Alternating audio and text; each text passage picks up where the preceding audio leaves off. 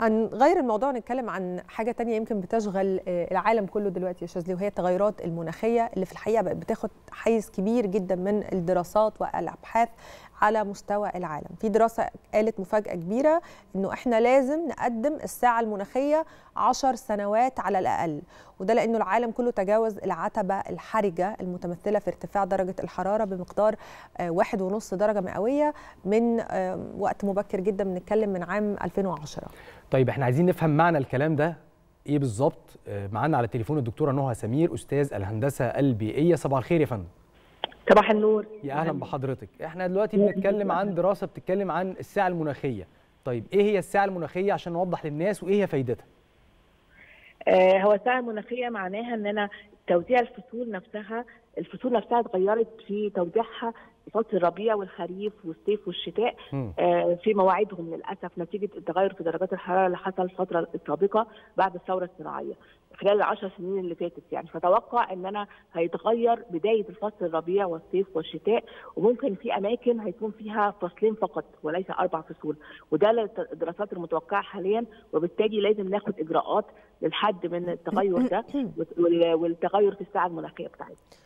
يعني إحنا دلوقتي بقينا فعلا بنشوف إنه إنه الصيف مثلا أو الشتاء بيكمل معانا لغاية ساعات شهر خمسة. هل ده نتيجة لارتفاع درجات الحرارة التغيرات الكبيرة دي الشتاء كمان بيبتدي بعد شهر 12 تقريبا. هل هو ده اللي إحنا بنتكلم فيه يا فندم؟ آه بالظبط هو ده. وكمان في فصول يعني تقريبا اختفت تماما وبقى في فصلين فقط لا غير. ممكن تلاقي شتاء وصيف فقط أو تلاقي إن في الربيع قل فترته الخريف قلت فترته تماما. وبالتالي ده كله نتيجة التغير في درجات الحرارة الفترة السابقة. يعني خلال العشر سنين اللي فاتت زادت درجة الحرارة واحد ونص درجة مئوية. وإحنا بنحاول تقريبا يعني في سنة 2023 كانت أكثر عام في زيادة درجة حرارة. وصل لواحد ونص درجة مئوية. آه فبنحاول إن إحنا الفترة المستقبلية اللي إحنا نوصل نثبت على هذا الحد ولا يزيد عن واحد ونص درجة مئويه. أيوه طب هنعمل إيه بقى يا دكتورة من خلال هذه الدراسة يعني إيه نقدم الساعة المناخية؟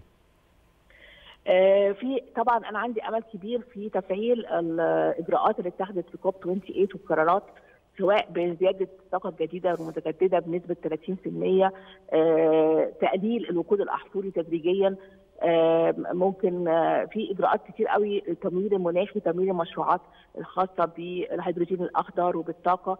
التمويل المستدام ليها. كمان تفعيل صندوق الخسائر والأضرار اللي مصر اتفقت عليه في كوب 27 وده كانت كانت أكبر إنجاز خاص بمصر في كوب 27 واتفقت الدول إنها تساهم في هذا الصندوق وتفعل الاجراءات الخاصه خصوصا في الدول اللي هي متأثرة جدا بالتغير المناخي سواء كانت في أفريقيا أو الشرق الأوسط وبالتالي ده ممكن يقلل من التأثير الضار للتغير المناخي الفترة المستقبلية وتغيير الساعة المناخية المتوقعة دي ممكن إحنا نحد من هذا التغيير. طيب إحنا يمكن شفنا في الفترة اللي فاتت دول بتتعرض لفيضانات دول بتتعرض لزلازل إيه أكتر الدول يمكن عرضة للمخاطر البيئية يا فندم؟ والله إحنا شفنا في 2023 كان في بلغاريا ليبيا آه في عواصف وفي آه فيضانات وسيول آه في كمان حصل في حرائق غابات في كندا. كل دول العالم متأثرة. وطبعا أكثر هي أكثر دول متأثرة هي في أفريقيا بس هي عامة التغير المناخي ظاهرة عالمية كل الدول متأثرة ما نقدرش نقول في دولة متأثرة أكثر من الثانية يعني. هل الدول المتأثرة في في أفريقيا متأثرة بيمكن التصحر أكثر بجفاف آه بالظبط آه بالظبط بالجفاف التصحر بتغير بتلف المحاصيل لأن طبعا بتغيير الفصول هيتغير في نمو المحاصيل فترة النمو الخاص بيها هينتشر الأمراض هتنتقل القوارض والآفات من من المنطقة اللي هي زيادة درجه الحراره فيها لاقل حرارة. هيحصل مشكلة في تنوع المحاصيل نفسها في النمو الخاص بيها. فالتأثير على الأمن الغذائي والأمن المائي في دول أفريقيا وعلى التصحر وعلى الجفاف ده باين أكتر في الدول الخاصه في أفريقيا. طيب إحنا بقينا نشوف يا دكتور خلال السنة اللي فاتت كان في قفزات هائلة جدا في درجات الحرارة. وده كان ملحوظ ومكمل كمان في هذا العام. الدراسة اعتمدت اللي إحنا بنتكلم عنها دلوقتي اعتمدت على الاسفنج البحري لمقياس درجة الحرارة. ده نفهم منه إيه يا فندم؟ وليه تم الاعتماد عليه؟ والله هو أكتر دليل على درجة الحرارة هو الاسفنج البحري. بيتغير لونه بيتغير الجودة بتاعته نتيجة ارتفاع درجه الحرارة هو متأثر جدا وبالتالي ممكن ناخده هو كإنديكيتور أو كمؤشر لزيادة درجات الحرارة. إحنا الدراسة بتقول إن إحنا المفروض ما نزيدش خالص اقصى حاجة ممكن نزيدها هي درجتين مئويتين في حد اقصى. وبالتالي وبالتالي إحنا هنتابعه من خلال آه تحاليل الخاصه بلون الإسفنج البحري وتأثره ونموه بيها لأنه أكثر الكائنات المتأثرة بارتفاع درجات الحرارة. طب أنا أنا عندي سؤال يا فندم هل الاحتباس الحراري فعلا ظهر في ستينيات القرن التاسع عشر يعني هل ابتدى المشكلة دي تظهر من ستينيات القرن التاسع عشر؟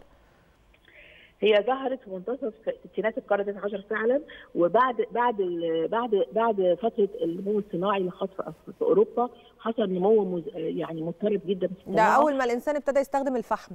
آه بالظبط وبعدين بعد كده ظهرت في ده أكتر كمان بعد فترة الازدهار الصناعي في في أوروبا لانهم حصل استغلال جائر للموارد الخاصة بالطاقة للوقود الأحفوري وبالتالي حصل انبعاثات للغازات الكربونية زادت بنسبة 50% في في العقود السابقة. وبالتالي ده أثر جدا على ظاهرة التغير المناخي.